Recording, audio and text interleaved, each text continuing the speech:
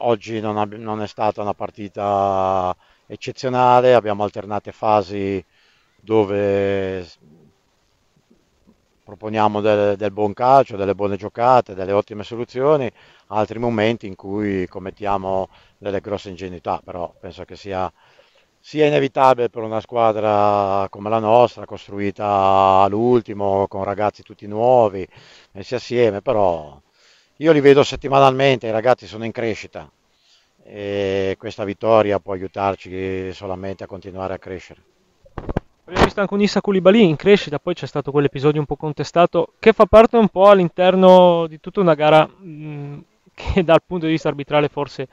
non è stata ottima, però forse quello che dispiace è poi perdere questo ragazzo che è parso sempre in crescita. Sì, commette troppa ingenuità, mi sa, nel primo tempo ne ha commesse tre una dietro l'altra, una è costata la munizione a Shevchenko, quindi il ragazzo ha dei margini di miglioramento, però deve crescere, deve crescere tanto perché nella, gesti- nella gestione della palla, ad esempio la differenza tra l'esperienza che c'ha Scalia e quello che fa lui è stata notevole, notevolissima, si è vista in maniera lampante, però uno è un veterano, l'altro è un giovane, quindi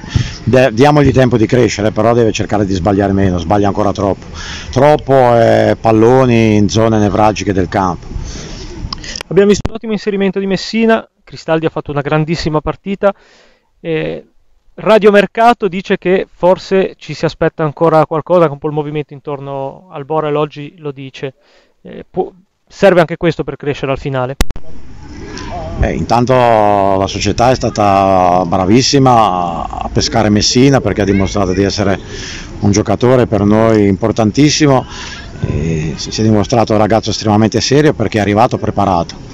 cosa che difficilmente accade. I giocatori aspettano di trovare la squadra e aspettano di iniziare ad allenarsi quando la trovano. Invece devo dire che domenica è arrivato preparato e oggi l'ha dimostrato